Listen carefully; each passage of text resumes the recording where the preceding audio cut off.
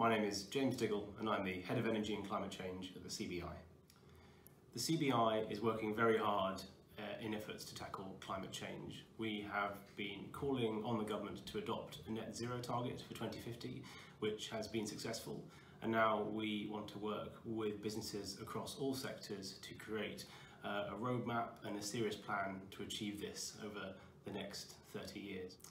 Specifically for construction and infrastructure, there is a huge amount to do to facilitate net zero, both from more energy efficient buildings, a electric vehicle charging infrastructure network, and of course reducing the carbon involved in the construction industry. Uh, there's a lot of work that we need to do and without all sectors coming together it'll be very hard to get to where we need to be.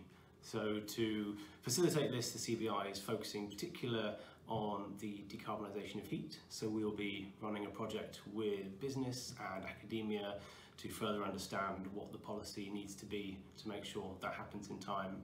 And we'll also be bringing businesses together at a conference at the end of the year to understand more how we can all work together to achieve this and put recommendations to government on what can be done next.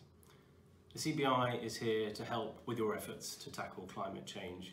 We bring businesses together to speak directly to government to help shape the policy and regulation that we all must operate in. And we can also tell the story about what industry is doing in the investments and innovations being made. And we'll be doing this particularly at the end of the year with a conference as a part of Green GB Week where you'll be able to attend and more information can be found on our website.